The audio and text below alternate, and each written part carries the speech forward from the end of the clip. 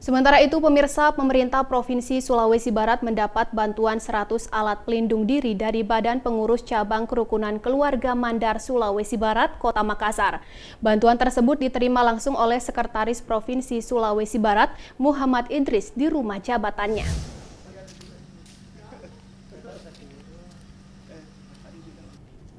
Sebanyak 100 APD dari BPC KKMSB Kota Makassar diberikan ke pemerintah Provinsi Sulawesi Barat. Bantuan ini diterima oleh Sekprov Sulbar Muhammad Idris yang diserahkan oleh Ketua BPC KKMSB Kota Makassar, Rahmat Haris di rumah jabatan Sekprov Sulbar. Sekretaris Provinsi Sulawesi Barat Muhammad Idris mengatakan bantuan APD ini akan segera disalurkan sesuai dengan kebutuhan dan permintaan masing-masing kabupaten yang ada di Sulawesi Barat. Pemberian bantuan ini sebagai salah satu contoh yang patut diapresiasi untuk warga Sulbar yang berada di rantauan. Uh, pertama saya ingin menyampaikan terima kasih dulu kepada pengurus uh, wilayah KKMSB Provinsi Sulawesi Selatan dan juga pengurus daerah KKMSB Kota Makassar yang sudah memberikan perhatian dengan uh, memberikan dukungan dalam bentuk uh, penyediaan APD untuk kawan-kawan di Sulawesi Barat ini bentuk kepedulian kekeluargaan masyarakat Sulbar yang ada di daerah lain.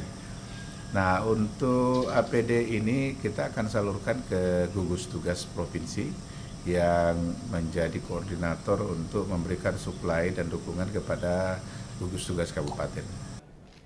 Sementara Ketua BPC KKMSB Kota Makassar, Andi Rahmat Haris berharap semoga bantuan APD yang diberikan mendorong berbagai komunitas masyarakat untuk peduli dengan membantu pemerintah dalam memerangi wabah virus corona.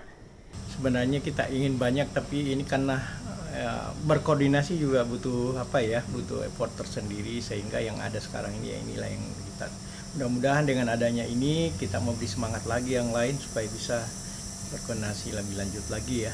Jadi ini bantuan dari teman-teman sendiri KKMSB jadi warga uh, Mandar uh, Sulawesi Barat yang ada di Makassar sama Sulawesi Selatan ya berkolaborasi untuk memberi perhatian kepada daerah masing-masingnya Nantinya bantuan APD ini akan disalurkan ke tim gugus tugas penanganan COVID-19 Provinsi sebagai koordinator untuk memberikan suplai dan dukungan kepada gugus tugas penanganan COVID-19 Kabupaten. Dari Kabupaten Mamuju, Abdul Jalal, iNews melaporkan.